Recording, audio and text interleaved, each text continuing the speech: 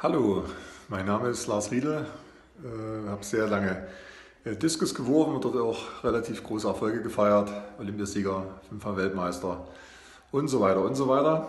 Ähm, wende mich heute an euch, weil ich das einfach ganz, ganz toll finde, was in Kreisheim passiert. Äh, ich selber war in den letzten Jahren sehr oft in Kreisheim gewesen, habe da gute Freunde, bin da auch äh, beim neu entstehenden Medicollec, was jetzt schon fast, fast fertig ist, äh, ja, so ein bisschen Botschafter und äh, ja, Nina und äh, Stefan sind Freunde von uns, sodass ich natürlich auch gerne äh, in diese Stadt fahre.